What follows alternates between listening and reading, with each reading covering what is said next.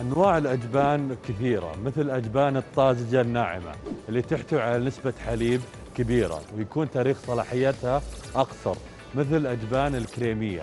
والأجبان الشبه الناعمة اللي تكون معدلة معمليا مثل جبنة التشيدر والموزاريلا والأجبان الصلبة اللي تكون مسحوب منها الهواء فيكون الرطوبة أقل